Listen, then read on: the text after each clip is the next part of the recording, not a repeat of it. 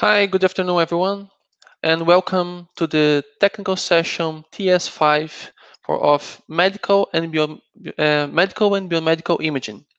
My name is Leandro Fernandes, and it's a pleasure for me to be the chair of this session. Well, uh, today, uh, short videos of four works will be presented. Each video is up to five minutes long uh, and followed by a five minute session of questions and answers. Ask your questions via the Whova app or text chat on YouTube, okay? Um, I will read your questions to the authors and they will answer them uh, live. Uh, the first work uh, in the session uh, has the title Automatic Classification of Erythrocytes Using Artificial Neural Networks and Integral Geometry-Based Functions. It will be presented by Yama Pasotto from Universidad de Guantánamo in Cuba.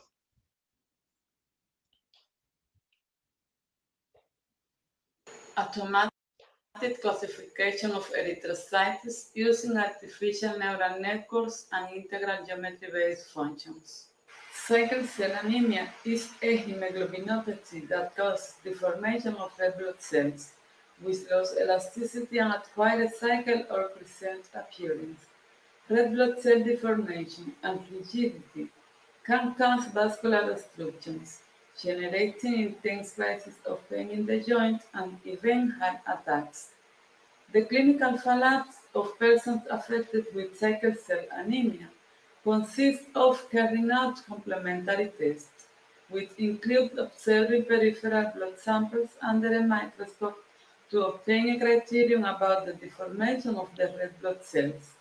This process is quick-cumbersome, error-prone, and time-consuming, but can be supported by automatic techniques that allow red blood cells to be classified according to the shape they present. In the classifying erythrocytes according to their shape, exists proposals that use functions based on integral geometry to obtain a description of the cell's contour before performing classifications. In those approaches, the classification confusion case persists, mainly in the classes of most significant interest, which are those related to the detection of deformed cells. In this work, the main contribution is the use of artificial neural networks trained with features obtained using integral geometry-based functions to perform the morphological analysis and classification of red blood cells. In this paper, we have considered the weighted integrated generalized support function, Crofton descriptors, and three computationally efficient variants as input data to the ANN-based classifier. The workflow of the proposed approach consists of the following steps. Number one, to obtain the contour of previously segmented erythrocytes. Number two, to obtain the representation of the shape of erythrocyte as integral geometry-based feature vectors. And number three, to perform erythrocyte supervised classification by training and evaluating artificial neural network models with the characteristics obtained in the second step. The conclusions of this work are the following. Our proposal achieves accuracy of 98.40%. This result is superior to those of previous studies concerning the classes of greatest interest. Our approach is computationally more efficient than previous works, making it suitable for supporting medical follow-up diagnosis of sickle cell disease.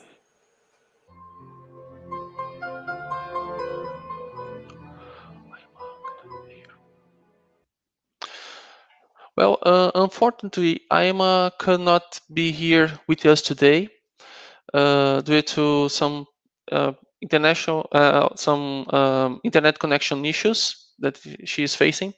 So I will answer the questions uh, because uh, I'm one, the, one of the co-authors of this paper. Um, I just checked the Whova app and don't and I, I don't see any questions from there. Please, if you are in the audience and have uh, some uh, they have a question, please send in the chat uh, uh, on YouTube. Okay, there is a small delay, so I will wait. I will wait uh, one minute to see if any questions come up in YouTube. Okay.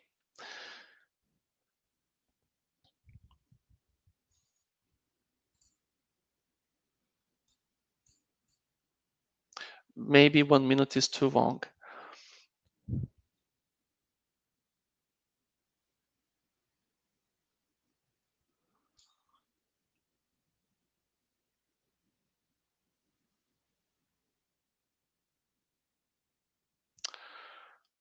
Well, I'm one of co-authors, so I'm afraid that, that I have no questions, right?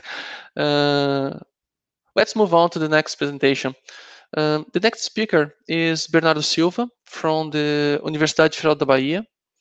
He will present the paper entitled A Study on Tooth Segmentation and Numbering Using End-to-End -end Deep Neural Networks.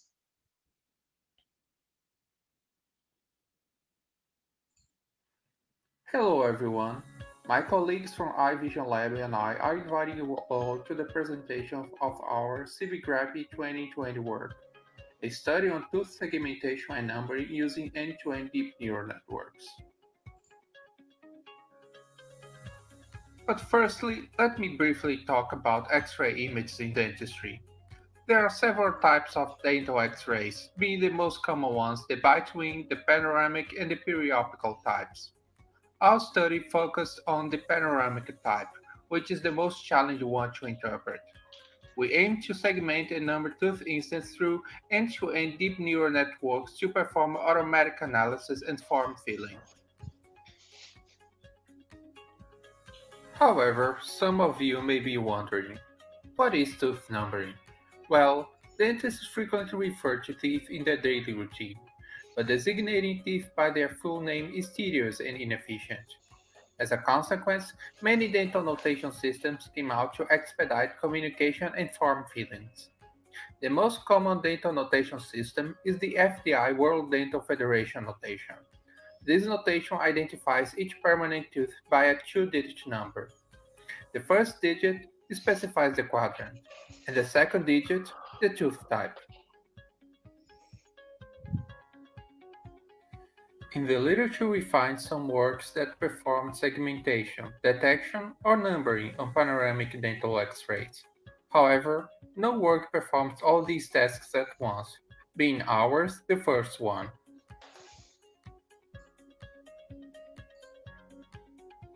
We conducted the study by means of a benchmark, where all the selected networks extend the two-stage detectors and reach the state-of-the-art performance in the instance segmentation task on the COCO dataset. The networks were Mask-RCNN by He et al., Path Aggregation Network or PANet for short by Liu et al., Hybrid Task Cascade or HTC by Chen et al., and Split Attention Network, also known as ResNeSt by Jung et al.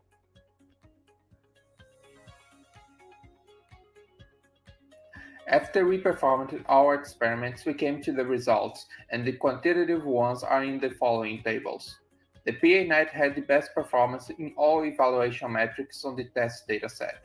We also did a supplementary evaluation, a semantic segmentation one, on more than 700 images. Here, PANet won in all metrics, except for the recall by a small margin. We compared these extra results with the ones from Jader et al. In this comparison, all architectures from the benchmark outperformed the solution by Jader et al. in the F1 score and in the accuracy. However, we do consider that it wasn't a perfectly symmetric comparison.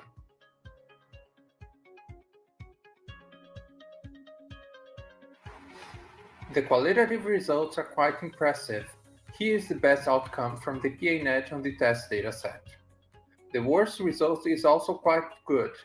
In this case, the bad metric is due to a comparison with crude annotations.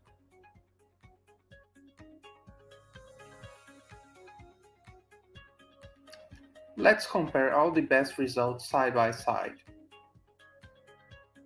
One more time. All results are very satisfactory.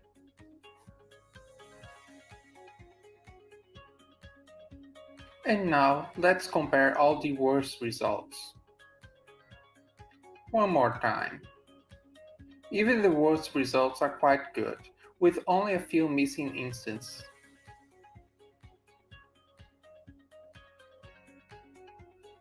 Our experiment's results allowed us to conclude that detecting, numbering, and segmenting teeth on panoramic dental X-ray image is entirely feasible using end-to-end -end deep neural networks. The choice of the neural network architecture, however, has a significant impact on the overall performance. And the PANet had the best performance in our experiments.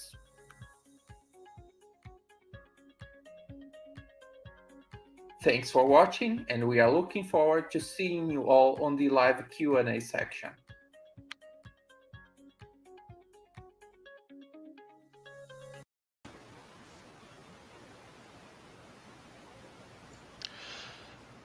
Well, uh, thank you, Bernardo, for for your presentation.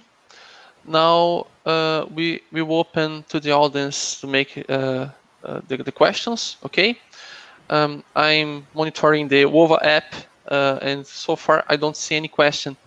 Uh, maybe I should make my own questions, and then in the this, in the meantime, the audience can send more questions to you. Okay. so the first question I have is this. Um, in, in this work, uh, you apply recent deep learning architectures to perform the segmentation and counting of teeth, right?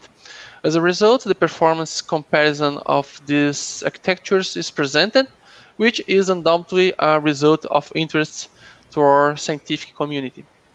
Uh, but the comparison with previous techniques under the same conditions, in the same conditions, I mean, uh, using the same data set, uh, and so on, has not been carried out.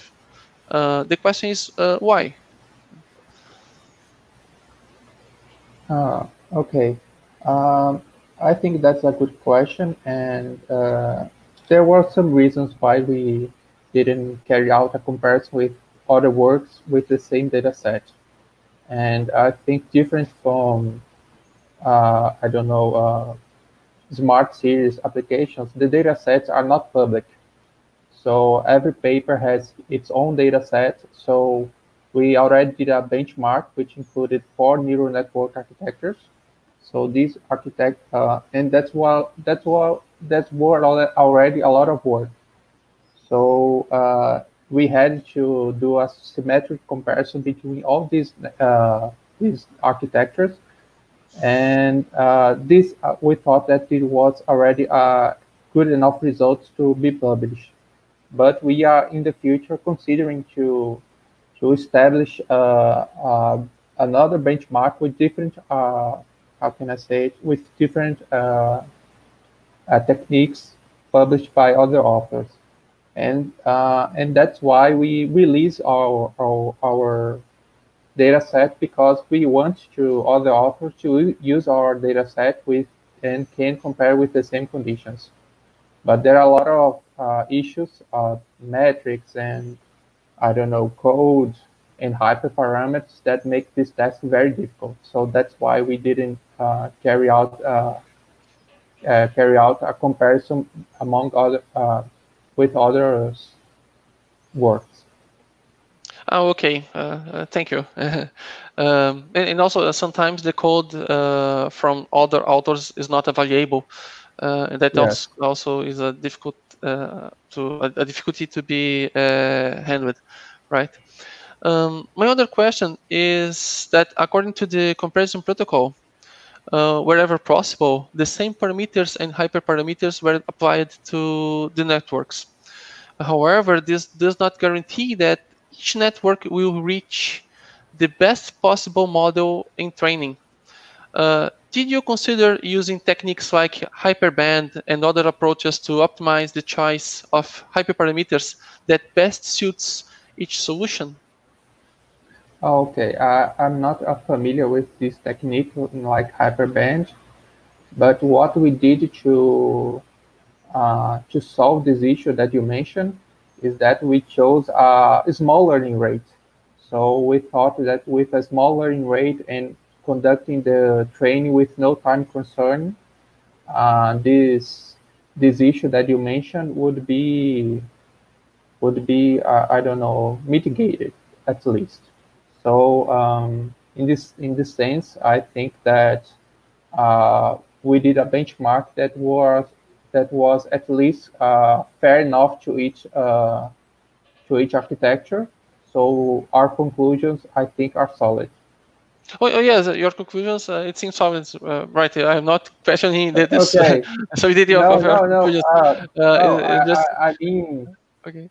I mean that uh, I understand your point uh, because we we mentioned that in the paper that we wanted to uh, make the most of each uh, each net neural network architecture, but um, when you do a benchmark, that is not all, always possible to make the best of each neural network architecture and make the same uh, uh, apply the same hyperparameters.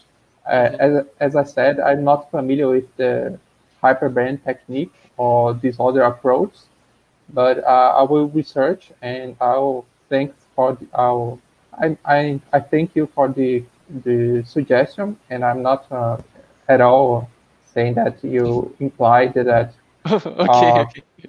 Okay, so sorry if it was a misunderstanding. No, no, Uh, don't, was don't, don't- don't worry about it. uh, just one, one more comment. Uh, it's not a question, okay? Uh, I really like it, uh, the directions for future work presented in, in your paper.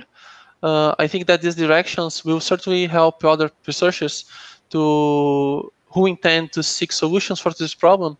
Uh, I think that those directions are a good, uh, a good guide, guide for uh, uh, yes. about And where to look way, at. we are yeah. So and sometimes the, way, the- we are we are tackling some of these problems already. So uh, Maybe- sometimes those directions are too loose, you know, uh, yeah, and I, I think that the way you put there uh, were great. Uh, it, it's clear the path that uh, one can uh, seek to to solve a sub problem of this problem.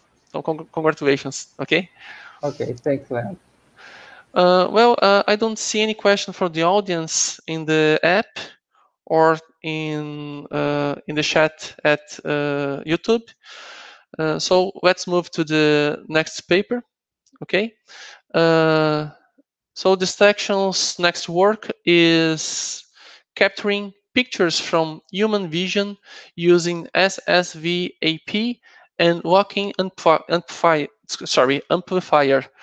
Uh, it will be presented by Danson Evan Garcia from the University of Toronto.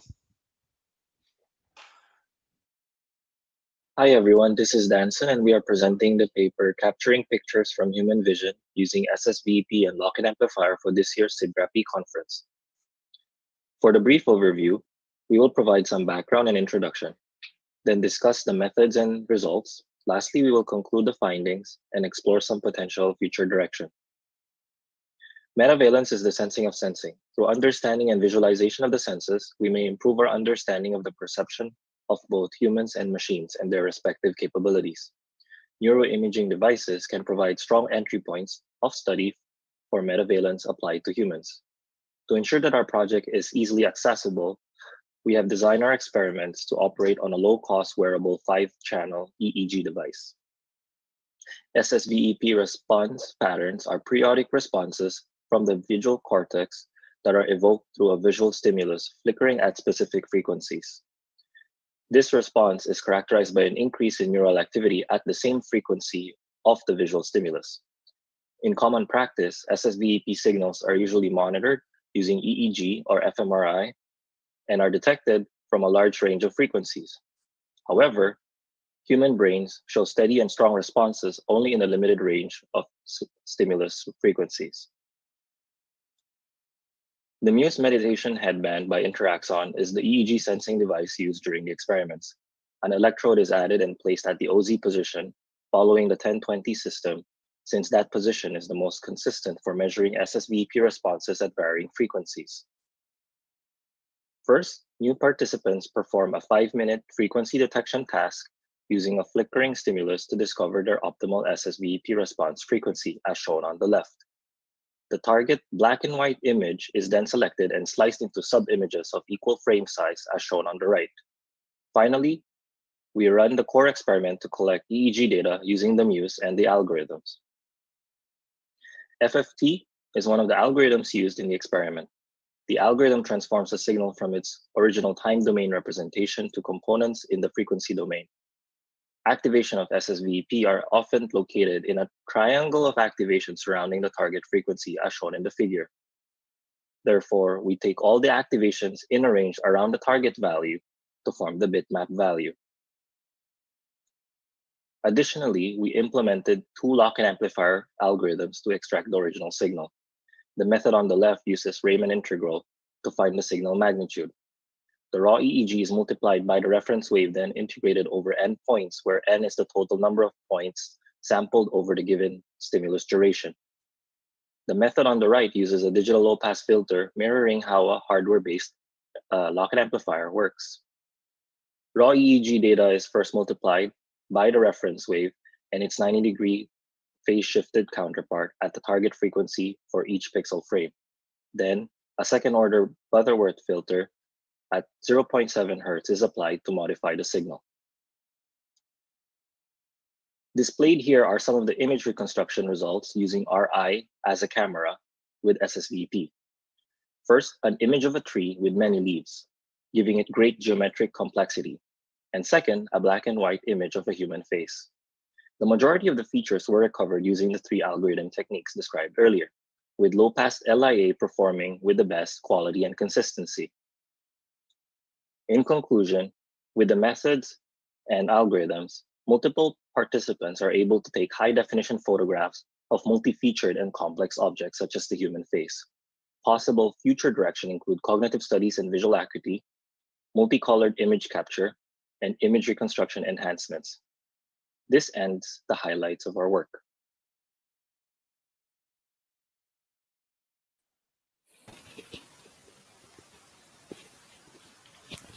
Good morning. Hi, uh, good morning. Uh, so, uh, Danson, Evan Garcia, and Kai Wenzeng are here to answer the questions from the audience. Uh, well, well, we have a, a, small, not not a small, but but a big delay from the questions that may may have been made uh, in the uh, YouTube chat. Uh, so please, the audience should uh, send the questions via the Whova app. All right. Um, but, before moving on the questions, I would like to congratulate you to uh, on your work it looks like science fiction. oh, thank you. Yeah. okay. In fact, there's no way to be more computer vision than that. Okay. it's, it's amazing. Thank you. Um, Excellent. My first question is um, which you which do you consider the biggest limiter for the results obtained so far? The EEG technology, the algorithms, or there is any other factor that requires researchers' attention uh, in the next years? Um, so I'd say it's a com it's a it's it's a combination because um, right now what we're working on the most is to reduce the noise that's coming from the signal itself. Um, because as you can see, um, there's quite a bit of speckle noise in the pictures that we've been taking. Um, we're really happy with the fact that we got most of the features back when we're taking the pictures. So, so yeah, that's uh, and noise is mostly coming from um, the device and as well as well as like biological influences. So uh, that's probably what I would say is the limiting factor right now. Okay, and another question. I think thank you for for your answer. Another question is uh, some EEG technologies uh, to use at home. Uh, uh, the user gets tired when using you know you know th- those ones that uh, you move the mouse around and so on uh, uh, and in this case the user also has to train uh, himself to to to use the device and and uh, and make a, a better uh, get better results from the, the algorithm? Or no it's uh, a simpler or less uh, uh, depends less on the user. So there's definitely um, steps that the user has to go through to both put on the device and uh, to go through the techniques that we use. So the fact the fact that visual attention really like influences the end results means that for sure like the user needs to be focused and alert and then actually um, looking at the experiment as it runs when there's a flickering stimulus on the screen. Um, as well as the fact that the external electrode that uh, we put at the back of the head to measure the actual SSVEP response that needs to be tightly uh, tightly placed um, against the occipital lobe otherwise you're going to get like uh, noise from the air, noise from like electrical uh, appliances around the, the house. So yeah. Um, so just to add on to what uh, Kaiwan said, uh, basically like that's where we're trying to mitigate the fact that um, if if the user doesn't have like for example the right frequency, um, you know like that's why we have like the initial step where we try to find uh, the most comfortable or the best frequency to record things so that we don't have to redo it from scratch.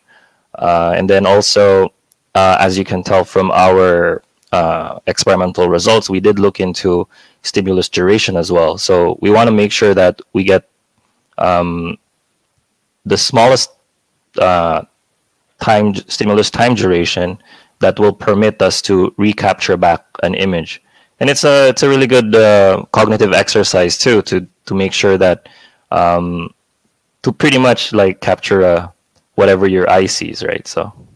Mm-hmm. Okay, uh, th th thank you uh, again for, for your answers. Uh, I don't see any questions for the audience, maybe because we have a, a, a huge delay in the uh, presentation of this session at YouTube. And so maybe you, you will receive some uh, some questions uh, in the Whova app in the next minutes. Okay, Don't, Perfect, so yeah. to the audience, please make your questions that the authors will answer you your questions uh, via the app. Okay, thank you again for your talk and congratulations for your work. Thank you, Leandro. Thanks. Well, and now uh, Cauê Duarte from the University of Campinas will present the paper Detecting Alzheimer's Disease based on structural region analysis using uh, a 3D shape descriptor.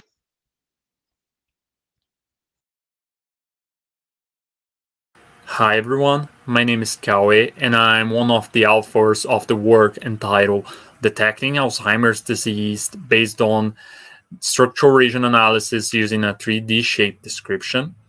This work was elaborated in collaboration of the University of Campinas and the University of Calgary. So the main idea of this work is to understand how the shapes of each anatomical brain region changes while the Alzheimer progresses. So a quick overview about Alzheimer's provided by the Alzheimer's Association is that is a type of dementia that cause problems related to memory, thinking, behavior, and not only that, because those changes also affect the change uh, your body behavior. So right here we show two examples. The one MRI on the left show a patient with no dementia detected, and the one MRI on the right shows a patient with seven years of dementia.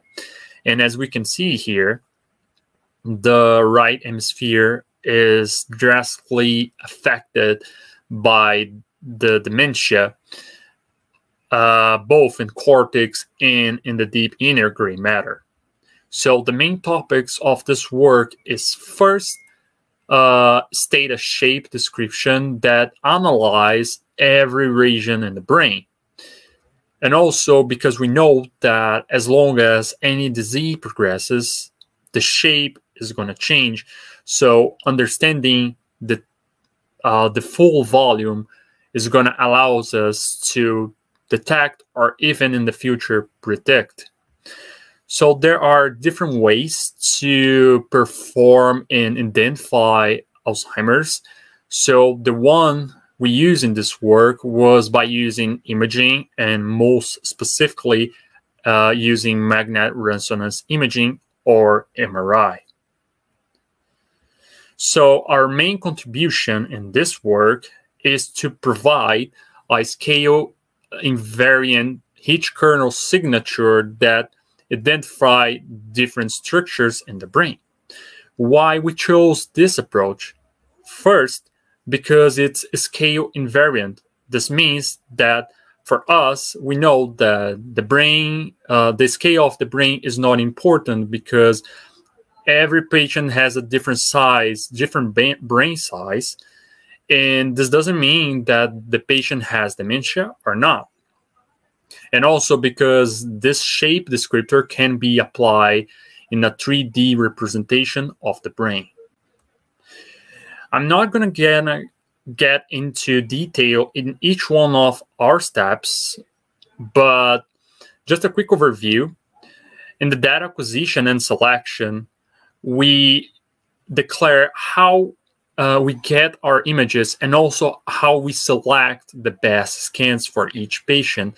But just a spoiler about it, uh, we use a patient volume selection that is a software that we developed.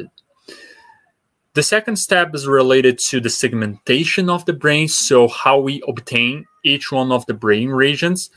So one, we use for this step the FreeSurfer tool, and after that we uh, created a mesh for each region.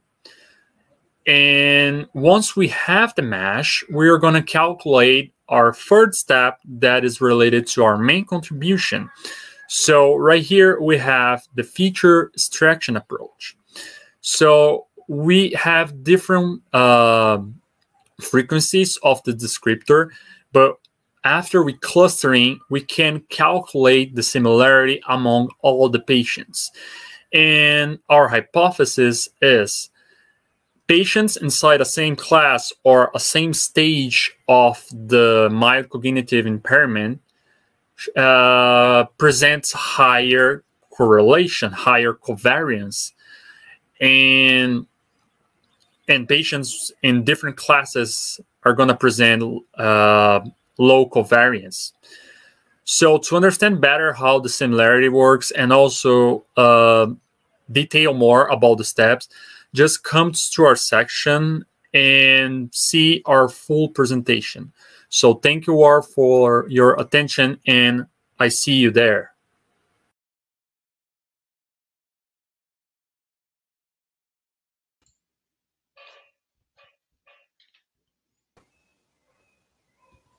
Hi, Lindo.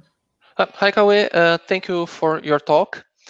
Um, so I will move on to my own questions because we have this huge delay, and maybe you you you uh, receive on the another questions for the audience in the next minutes. Okay. Okay. Uh, so uh, my first question is uh, about the patient volume selection tool. This tool presents the images to the user, and that user makes the selection, right? Yep. Uh, in, in your opinion, what are the challenges for those who want to develop an automatic, uh, automatic uh, patient volume selection tool? Okay, so I was typing here, sorry for my delay, but uh, the main idea of developing a patient volume selection tool is to help the the doctors to select the best scans because it's not always as straightforward as we think. Uh, there are different kinds of artifacts that can influence in the image you're seeing. So motions uh, like swallowing or moving the head.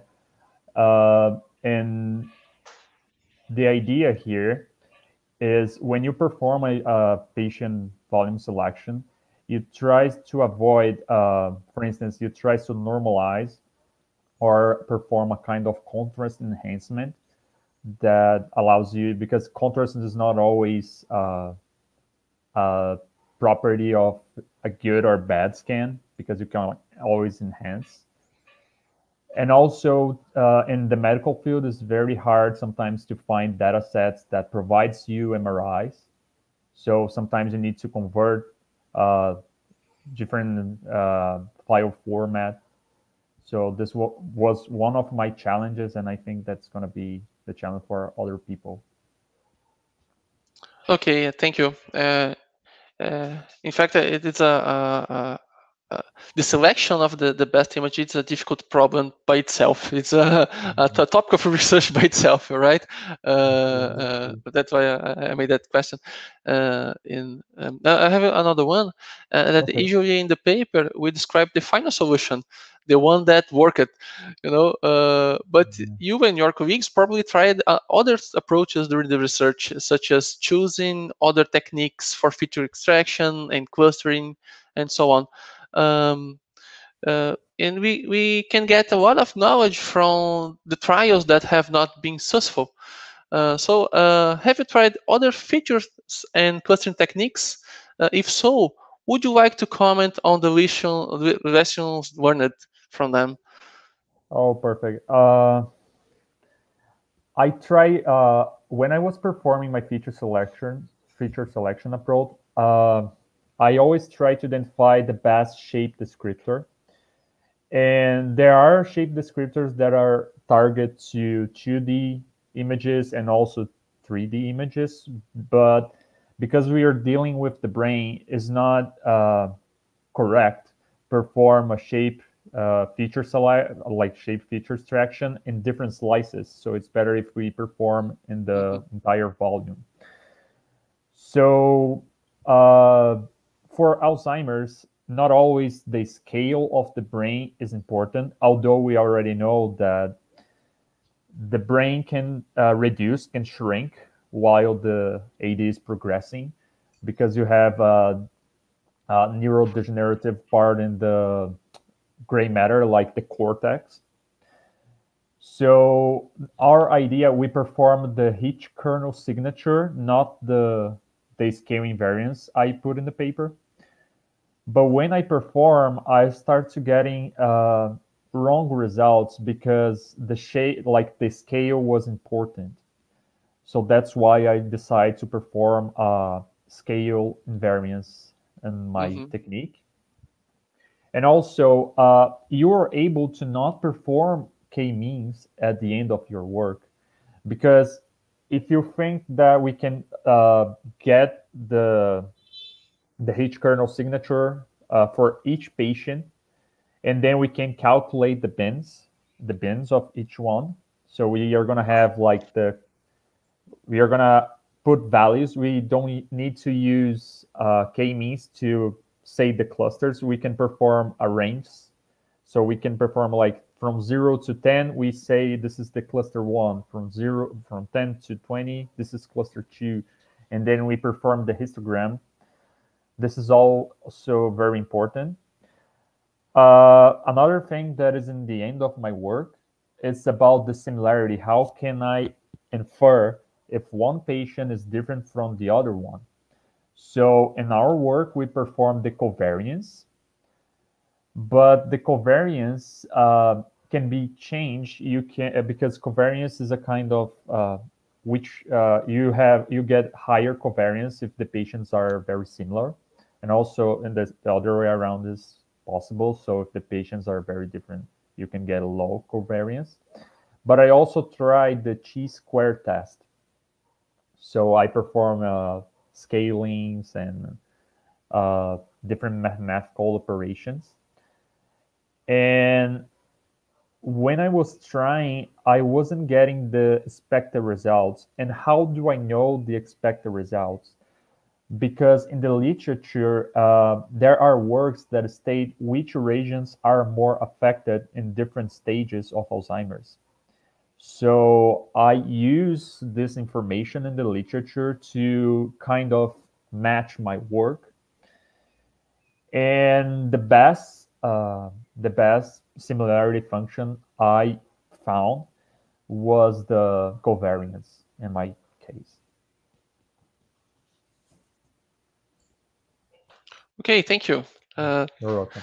Um, well, I, don't have more questions, and uh, the audience, uh, I, believe that they don't didn't had the opportunity to send the questions yet because the due to the delay on the video, and uh, so please uh, uh, uh, keep following uh, what they will Mhm. send you uh, via the Whova app. Okay.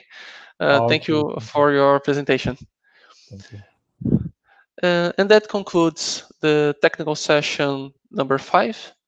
Thank you all for attending it and have a good day and a great SIBGRAPI.